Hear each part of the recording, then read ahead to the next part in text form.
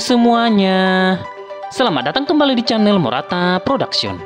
Di video kali ini akan membahas tentang penggolongan pestisida berdasarkan senyawa kimia.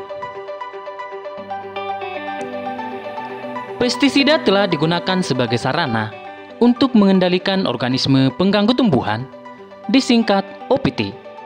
Di Indonesia, sejak sebelum Perang Dunia Kedua, Berbagai uji coba penggunaan pestisida pada tanaman padi menunjukkan bahwa pestisida dapat melindungi tanaman dari serangan hama atau OPT disingkat organisme pengganggu tumbuhan.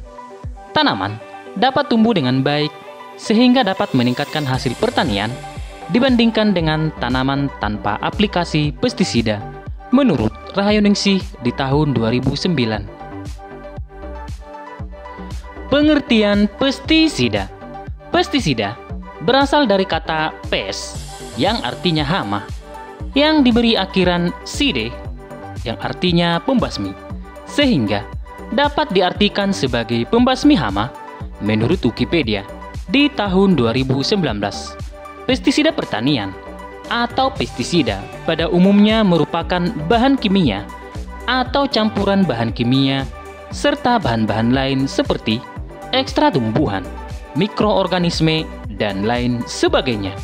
Senyawa pestisida bersifat bioaktif, artinya pestisida dengan satu atau beberapa cara dapat mempengaruhi kehidupan seperti menghentikan pertumbuhan, membunuh hama atau penyakit, menekan hama atau penyakit, membunuh atau menekan gulma, mengusir hama, mempengaruhi atau mengatur pertumbuhan tanaman, mengeringkan, atau merontokkan daun, dan sebagainya, menurut Panut Jojo Sumarto di tahun 2000.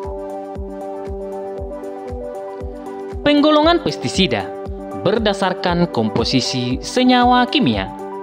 Berdasarkan komposisi senyawa kimianya dan pengaruhnya terhadap fisiologi, pestisida dapat diklasifikasikan menjadi organoklorin, organopospat, karbamat, dan piretroid.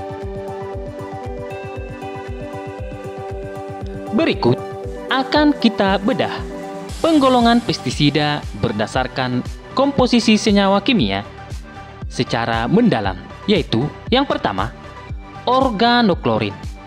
Organoklorin merupakan kelompok pestisida pertama yang disintetis untuk digunakan di bidang pertanian dan kesehatan masyarakat menurut Yadai di tahun 2017.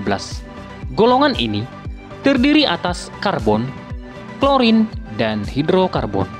Golongan ini sering disebut dengan chlorinate hydrocarbons, chlorinate organics, chlorinate insecticide, atau chlorinate synthetis. Secara kimia, golongan ini termasuk insektisida dengan toksisitas relatif rendah, tetapi mampu bertahan lama di lingkungan, menurut Sudarmo di tahun 2007. Insektisida ini digunakan untuk mengontrol hama serangga dan dapat mengganggu sistem saraf pada serangga yang menyebabkan kejang dan kelumpuhan yang diakhiri dengan kematian. Contoh paling umum dari pestisida jenis ini yaitu DDT, linden, endosulfan, aldrin, dieldrin, dan klordane. Penggunaan DDT sudah banyak dilarang di beberapa negara, termasuk negara Amerika Serikat. Namun, di sebagian besar negara berkembang tropis, DDT masih digunakan untuk pengendalian vektor, terutama seperti penyakit malaria, menurut Yadai di tahun 2017. Yang kedua yaitu organofosfat. Organofosfat sering disebut sebagai organic phosphorate, phosphorus insecticide, phosphate, phosphate insecticide, dan phosphorus ester atau fosforik asid ester, menurut Sudarmo di tahun 2007, pestisida golongan ini memiliki spektrum luas yang dapat mengendalikan berbagai hama karena berbagai fungsi yang dimilikinya. Organofosfat memiliki karakteristik sebagai racun lambung, racun kontak, dan racun fumigan yang mempengaruhi saraf. Pestisida ini dapat terurai atau biodegradable yang menimbulkan polusi, polusi lingkungan yang rendah dan dapat resisten lambat terhadap hama. Organofosfat lebih toksik terhadap hewan vertebrata dan invertebrata. Efek yang ditimbulkan adalah pergerakan otot secara cepat atau kejang, sehingga menyebabkan kelumpuhan dan kematian. Insektisida organofosfat yang sering digunakan yaitu paratio, malation, diaginon, dan glyphosate menurut IADAI di tahun 2017. Pestisida golongan organofosfat tidak tahan terhadap suhu tinggi dan cahaya matahari, khususnya spektrum ultraviolet. Dengan demikian, apabila organofosfat diaplikasikan dengan interval waktu yang lama sebelum masa panen, maka residu yang terdapat pada produk pertanian akan semakin sedikit karena adanya proses degradasi atau pengurangan yang dipengaruhi oleh suhu dan cahaya matahari, menurut Dewi di tahun 2017. Yang ketiga yaitu karbamat. Secara struktur, karbamat mirip dengan organofosfat. Namun, karbamat berasal dari karbamik asid atau dimetil N atau metil karbamik asid yang digunakan sebagai insektisida, herbisida, fungisida, dan nematisida. Persistensi karbamat lebih rendah dibandingkan dengan organoklorin dan organofosfat menurut Garcia dan kawan-kawan di tahun 2017. Prinsip kerja pestisida karbamat mirip dengan organofosfat yaitu dengan mempengaruhi transmisi sinyal saraf sehingga mengakibatkan kematian hama karena keracunan. Karbamat dapat dengan mudah terdegradasi di lingkungan dengan menghasilkan sedikit polusi. Beberapa pestisida yang termasuk dalam golongan ini yaitu karbaril, karbopuran, propoxur, dan aminocarb menurut IADAI di tahun 2017. Dan yang terakhir, yang keempat, yaitu piretroid.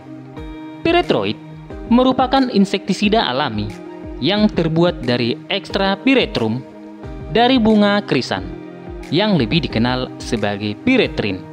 Kemudian, pestisida ini diproduksi secara sintetis dan diproduksi secara komersial menurut Garcia di tahun 2012.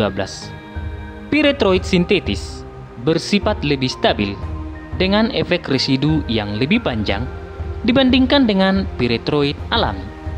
Piretroid sintetis akan bersifat sangat toksik bagi serangga dan ikan dibandingkan bagi mamalia dan burung. Pestisida ini bersifat non-persisten dan mudah pecah strukturnya apabila terkena cahaya. Piretroid sintetis dianggap insektisida paling aman digunakan dalam makanan. Sipermetrin dan permetrin merupakan contoh salah satu jenis piretroid sintetis yang paling banyak digunakan saat ini menurut IADAI di tahun 2017. Demikianlah penjelasan kami tentang penggolongan pestisida berdasarkan komposisi senyawa kimia. Selamat mengerti dan terima kasih. Semoga informasi tadi bermanfaat. Share pendapat menarik kalian di kolom komentar ya. Mari bangun channel ini dengan cara klik tombol subscribe, like, share, dan aktifkan tombol loncengnya ya. Agar tidak ketinggalan untuk update video berikutnya. Sampai jumpa di video selanjutnya. Dan jangan lupa tonton video yang lainnya ya. Terima kasih sudah menyaksikan channel ini.